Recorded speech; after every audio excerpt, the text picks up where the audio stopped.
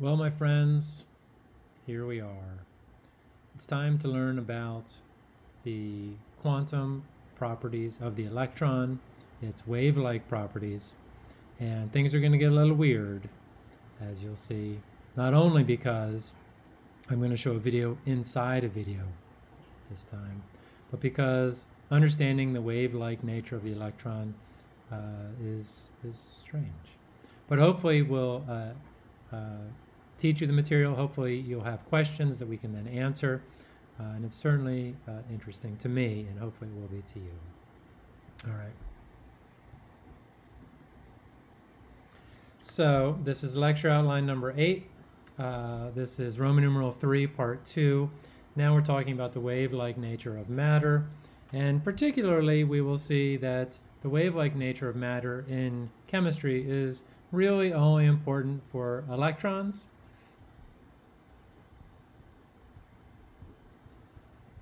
And things smaller than electrons, but in chemistry, it's pr pretty much the electrons that are the smallest thing. So uh, we'll start with, for an electron with a given amount of mass, mass being a particle-like property, the wave-like nature of a matter, the electron, is significant. What we will see is that if you have an electron source and you do the double slit experiment,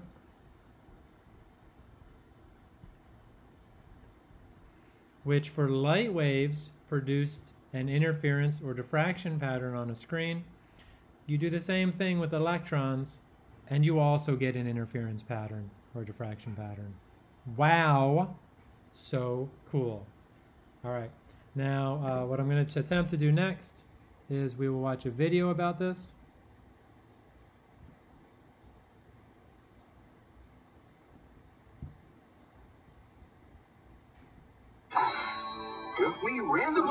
A small object, say a marble, at the screen, we see a pattern on the back wall where they went through the slit and hit.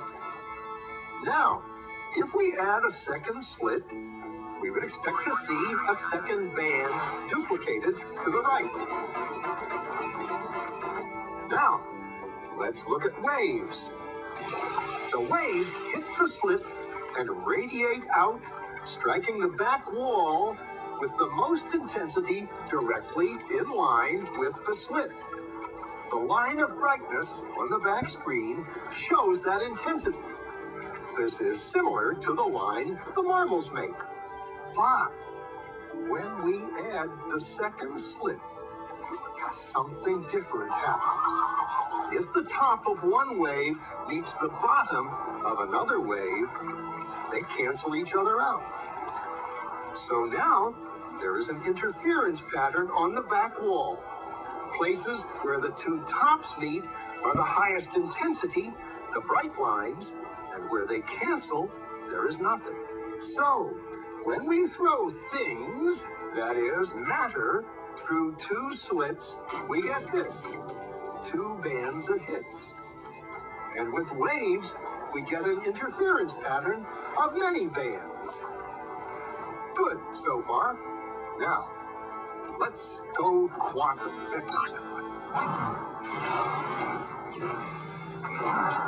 An electron is a tiny, tiny bit of matter, like a tiny marble. Let's fire a stream through one slit. It behaves just like the marble, a single band. So, if we shoot these tiny bits through two slits, we should get, like the marbles, two bands. What? An interference pattern. Never gets old. We fired electrons, tiny bits of matter through. But we get a pattern like waves, not like little marbles. How? How could pieces of matter create an interference pattern like a wave? It doesn't make sense. But physicists are clever. They thought maybe those little balls are bouncing off each other and creating that pattern. So they decide to shoot electrons through one at a time. There is no way they can interfere with each other. But after an hour of this, the same interference pattern is seen to emerge. The conclusion is inescapable. The single electron leaves as a particle, becomes a wave of potentials, goes through both slits, and interferes with itself to hit the wall like a particle. But mathematically, it's even stranger. It goes through both slits and it goes through neither. And it goes through just one and it goes through just the other. All of these possibilities are in superposition with each other. But physicists were completely baffled by this. So they decided to peek and see which slit it actually goes through. They put a measuring device by one slit to see which one it went through and let it fly. but the quantum world is far more mysterious than they could have imagined. When they observed, the electron went back to behaving like a little marble. It produced a pattern of two bands, not an interference pattern of many the very act of measuring or observing which slit it went through meant it only went through one, not both. The electron decided to act differently, as though it was aware it was being watched. And it was here that physicists stepped forever into the strange, never world of quantum events. What is matter? Marbles or waves? And waves of what? And what does an observer have to do with any of this? The observer collapsed the wave function simply by observing.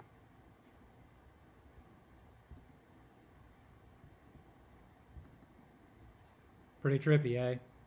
So let's cover a couple things here about this. So first off, what is an electron? An electron has particle-like and wave-like properties, so it has both of these, and it exists in what's called the wave-particle duality. Okay, and then what? When one single electron goes through at a time and creates an interference pattern on the wall, what is interacting, what is interfering like the waves, what is going through one slit and what is going through the other slit. It is the probability of the electron going through each of the slits. So, I know, right? So, when you have an electron source, you have double slit experiment, you create an interference pattern, question is what is interfering with what is interfering with itself or what is interfering? And in fact it is the probability 50% probability of electron wave function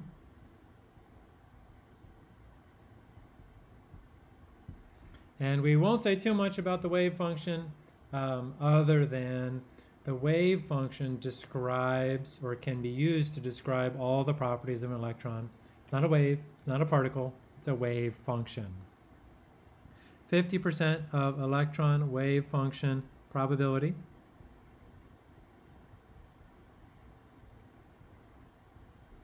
goes through the slit on the left. The other 50%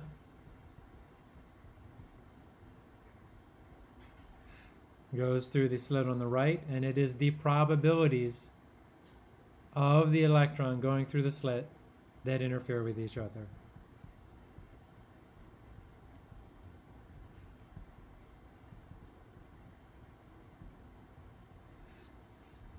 So, this is weird.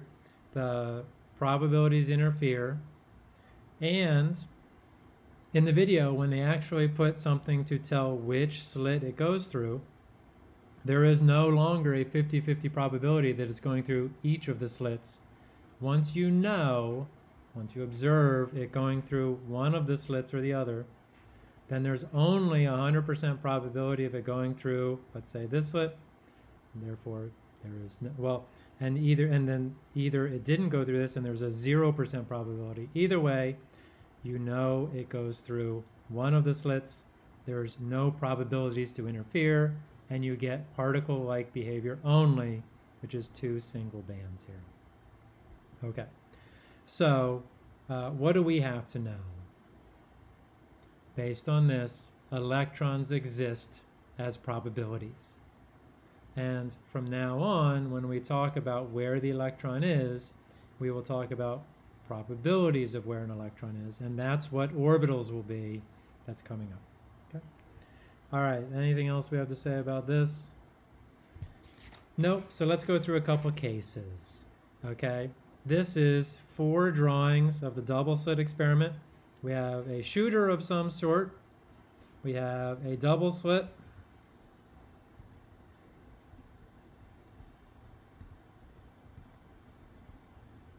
and we have a screen. And the question is, what kind of behavior will we see on the screen depending upon what we shoot through? So shooter here, this shooter is going to shoot wavelengths of light. And that's going to look like this. Some of the wavelengths will go through the top slit. Some of the wavelengths will go through the bottom slit those two wavelengths will interfere and on the screen they will produce an interference pattern. And I'm not sure which of these is the actual bright and dark spots. The key thing in this drawing is there are bright and dark spots and you can see that there's an interference pattern.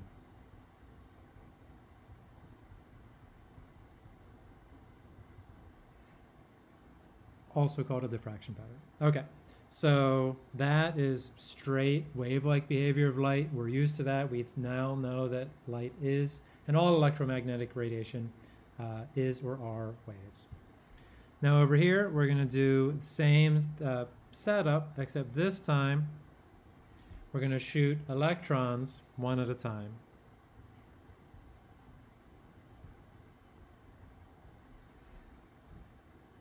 And electrons one at a time have probabilities and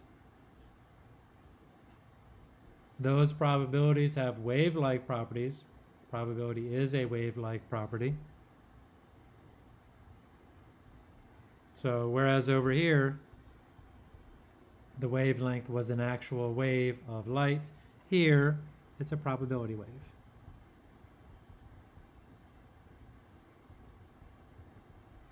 And that's the same thing, and those probability waves interfere and create an interference pattern.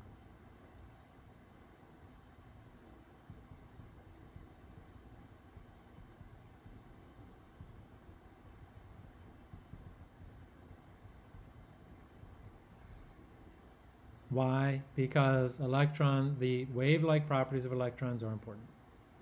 Okay. So now down here, we'll do a couple other examples.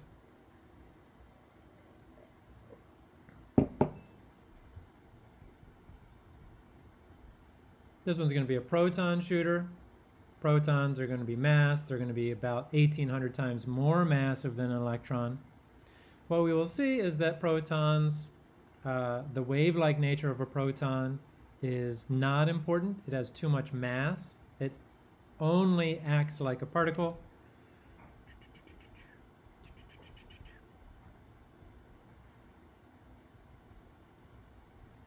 And there is no interference pattern. There are only two lines where the particles go through. And uh, let's see, atom. Because any atom is going to be heavier than one proton, um, except a hydrogen atom, but any other any other atom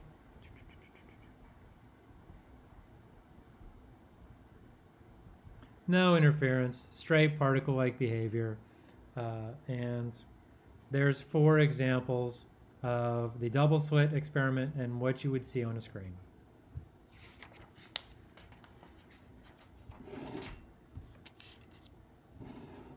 Okay. Next thing we want to cover is that how to calculate the wavelength of matter and specifically the wavelength of an electron, although this is a completely general equation.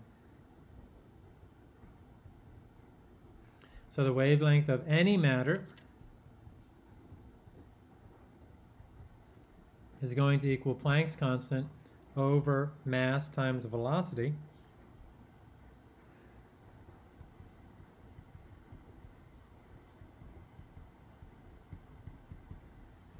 We're familiar with Planck's constant by now. We know that when things are in units of energy that are joules, the mass must be in kilograms and velocity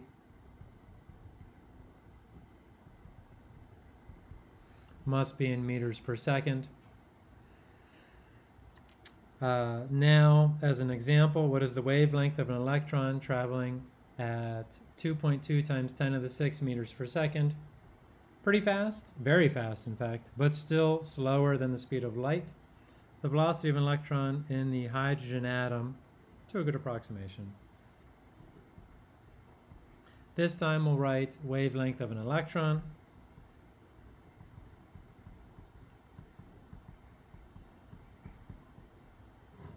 Planck's constant divided by the mass of an electron from the previous slide and on your conversion equation sheet, 9.1 times 10 to the minus 31 kilograms.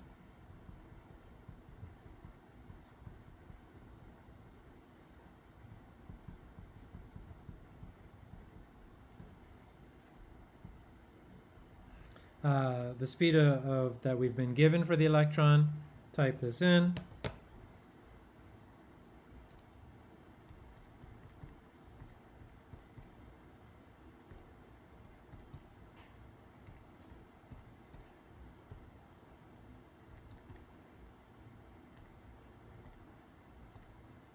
I get 3.31 times 10 to the minus 10. And uh, these are units of meters. That is an extremely small uh, distance. However, uh, if we turn, uh, if we convert this into nanometers, we get 0.3 nanometers. However, 0.3 nanometers is approximately the size of an atom.